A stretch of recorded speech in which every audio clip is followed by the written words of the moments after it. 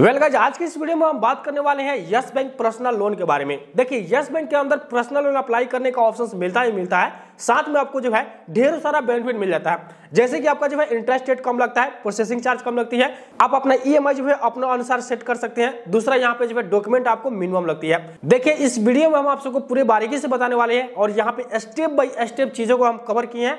यानी कि इस वीडियो को देखने के बाद आपको दूसरा वीडियो देखने का मौका नहीं मिलेगा। हालाँकि आप यूट्यूब पे जाएँगे और वहाँ पे सर्च करेंगे तो आपको ढेरों सारा वहाँ पे वीडियो देखने को मिल जाएगा। लेकिन वहाँ पे वीडियो देखने के बाद भी आप अपना लोन अप्लाई करते हो तो आपका फॉर्म जो वहाँ पे छट जाता है। आपका लोन जो है अप्रूव नहीं होता। है तो देखो वहाँ पे रीजन क्या होता है। आप एक छोटा सा भी मिस्टेक करते हो, यानी कि आप अपना पर्सनल डिटेल्स में या कोई डॉक्यूमेंट या कोई स्पेलिंग भी आप मिसमैच करते हो तो आपका जो है डॉक्यूमेंट वहाँ पे छट जाती है। इस वीडियो में हम स्टेप बाय स्टेप चीज़ों को कवर किए हैं, जो कि आप आसानी से सीख जाओगे यस बैंक में पर्सनल लोन अप्लाई कैसे करना होता है। तो चलिए यहाँ पे ज़्यादा समय हम आप लोग का नहीं लेंगे, मात्र यहाँ पे पाँच से सात मिनट का समय हमको दीजिए और इस वीडियो को जो है कंप्लीट वॉच करके देखिए। चलिए बकती को करते हैं साइड में और डायरेक्ट जो है इस वीडियो को हम स्टार्ट कर लेते हैं। फाइनली गाइस वीडियो का डिस्क्रिप्शन में जो आपको लिंक मिलता है, उस पर आप क्लिक करते हैं, आप यस बैंक के ऑफिशियल वेबसाइट पर चले जाते हैं। अब यहाँ पे आने के बाद जो है, आप सबको लोन वाले सेक्शन में जाना है। लोन वाला सेक्शन आपको यहाँ पे भी देखने को मिल जाएगा। और नीचे आप स्क्रॉल करके आओगे तो यहाँ पे भी आपको जो है लोन वाला सेक्शन मिल जाएगा। यहाँ पे पर्सनल लोन ईएमआई कैलकुलेटर दिया गया। यहाँ पे हम कैलकुलेटर नाउ पे क्लिक करते हैं। हमारे सामने जो है कुछ इस प्रकार से इंटरफेस ओपन हो रही है। सबसे पहले जो है यहाँ पे आपको अपना लोन अमाउंट फिल करना है कि आप लोन कितना रुपया लेने वाले हो। यहाँ पे मान लीजिए हम दो लाख रुपया लोन लेने वाले हैं तो यहाँ पे हम दो लाख रुपया फिल करते हैं। ठीक है?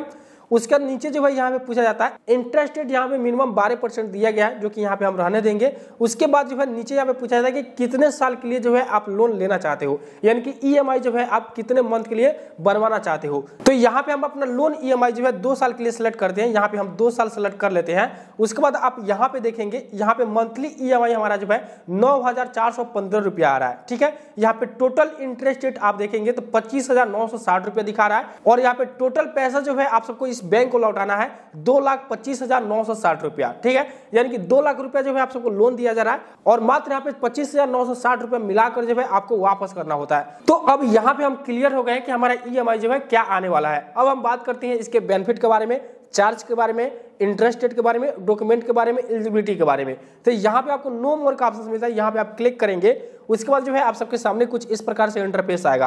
अब आप यहाँ पे देखेंगे, यहाँ पे इसका टॉप बेनिफिट दिखाया जा रहा है। यहाँ पे बताया जा रहा है कि आपको जो है फिक्सिबल पेमेंट मिल जाएगा। एक मिनट में जो है आप सबका लोन अप्रूवल यहाँ पे दिखा दिया जाएगा। लोन ट्रांसफ़र करने का ऑप्शन आपको तुरंत मिल जाएगा। उसके बाद यहाँ पे रिपेमेंट करने का ऑप्शन जो है आप अपना ई बनवा सकते हैं। प्री अप्रूवल पर्सनल लोन का भी ऑफ़र आपको लोन चुकता करने के बाद मिल सकता है। देखिए, अगर आप सैलरीड पर्सन होंगे तो यहाँ पे बताया गया है must be salaried employee in private और पब्लिक इंटरप्राइज ठीक है?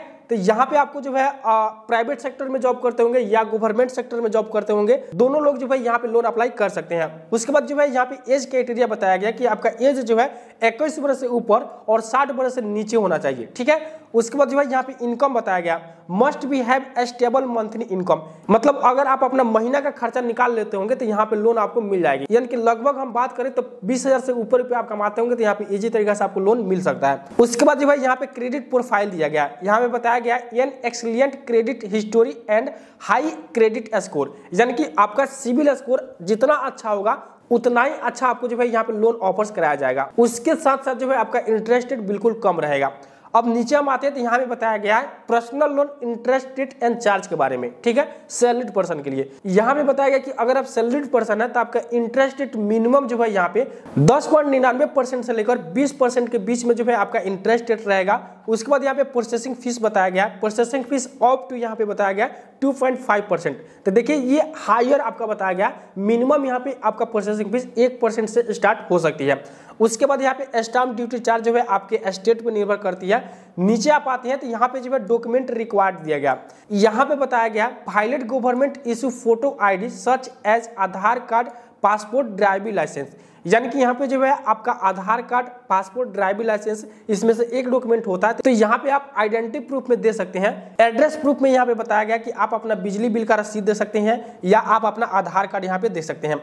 उसके बाद यहाँ पे इनकम प्रूफ मांगा जा रहा है। इनकम प्रूफ में देखेंगे, सैलरी स्लिप मांगा जा रहा है, income tax return, bank statement, यानी कि इन तीनों में से एक भी डॉक्यूमेंट आपके पास होता है तो यहाँ पे आप लगा सकते हैं। ठीक है? अगर तीनों डॉक्यूमेंट में से कोई आपके पास नहीं है तो नॉर्मली आप अपना पासबुक का फ़ोटो भी यहाँ पे लगा सकते हैं। उसके बाद जो है यहाँ पे इम्प्लॉयमेंट वेरिफिकेशन दिया गया। यानी कि आपका वेरिफिकेशन किया जाएगा, आपका केवाईसी जो है बिल्कुल यहाँ पे कंप्लीट किया जाएगा। उसके बाद जो है यहाँ पे क्रेडिट हिस्ट्री यानी कि आपका क्रेडिट देखा जाएगा कि पिछले अगर आप लोन लिए होंगे, चुकता नहीं किए होंगे, या आपका सिविल डाउन होगा तो यहाँ पे आपको लोन नहीं मिलेगा। पासपोर्ट साइज़ फ़ोटो आपका यहाँ पे लग सकता है। उसके बाद यहाँ पे बताया गया कि आप अप्लाई कैसे करेंगे अब देखिए यहाँ पे अप्लाई करने का तरीका जो है आप सबको दो मिल जाता है पहला तरीका हम आप सबको बता दें यहाँ पे गेट एक कॉल बैक का ऑप्शन मिलता है यहाँ पे आप क्लिक करेंगे आपके सामने एक फॉर्म खुल के आएगा यहाँ पे आप अपना नाम फिल करेंगे यहाँ पे लास्ट नेम फिल करेंगे उसके बाद यहाँ पे पर्सनल मोबाइल नंबर फिल करेंगे ईमेल आईडी यहाँ पे फिल करेंगे पैन कार्ड का नंबर आप यहाँ पे फिल करेंगे डेट ऑफ़ बर्थ आप यहाँ पे फिल करेंगे यहाँ पे आप अपना सिटी चूज़ करेंगे उसके बाद जो भाई यहाँ पे कंपनी नेम दिया गया कंपनी नेम आप अपना फिल करेंगे।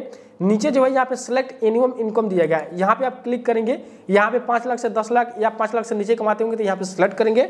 उसके बाद जो है एक बॉक्स मिलता है, इस बॉक्स को टिक करेंगे और यहाँ पे सबमिट पे क्लिक कर देंगे। और फाइनली आप यहाँ पे अपना फॉर्म सबमिट कर देते हैं। उसके बाद जो है आपके बैंक के थ्रू यानी कि आपके नियरेस्ट में जो ब्रांच होगा यस बैंक का, उसके माध्यम से जो है आपके पास कॉल किया जाएगा और आपके डॉक्यूमेंट के संबंधित, आपके लोन के संबंधित जो है जानकारी मांगा जाएगा। अगर आपके पास डॉक्यूमेंट कंप्लीट होता है तो डोर स्टेप बैंकिंग के माध्यम से आपके घर पे आकर आपका जो डॉक्यूमेंट होता है, उसका वेरिफिकेशन किया जाता है केवाईसी कंप्लीट कराया जाता है, उसके बाद जो है लोन आपके अकाउंट में ट्रांसफ़र कराया जाता है। अब दूसरे तरीके के बारे में हम बात करें, दूसरा तरीका जो है आप सबको यहाँ पे अप्लाई ऑनलाइन का ऑप्शन मिलता है, यानी कि अप्लाई नाउ पे आप क्लिक करेंगे, ये चीज़ जो है आप मोबाइल से करेंगे तो बेहतर रहेगा। आप प्ले स्टोर पे सर्च करेंगे यस बैंक आपके सामने एक एप्लीकेशन ओपन होगा एप्लीकेशन को इंस्टॉल करना है, उसके बाद जो है उसमें आपको पर्सनल लोन अप्लाई करना है। सबसे पहले जो है आप सबको यहाँ पे अपना मोबाइल नंबर फिल करना है né? कस्टमर आईडी फिल करना है। यानी कि अगर आपका खाता इसमें होगा तो सिंपली आप अपने मोबाइल के प्ले स्टोर से एप्लीकेशन को ओपन करेंगे और वहाँ से जो है डायरेक्ट पर्सनल अप्लाई करेंगे, ठीक है? यहाँ पे भी जब आप सबको तीन से चार स्टेप को कंप्लीट करना होता है, जैसे कि आपको अपना पर्सनल डिटेल वेरीफाई करना होता है डॉक्यूमेंट अपलोड करना होता है,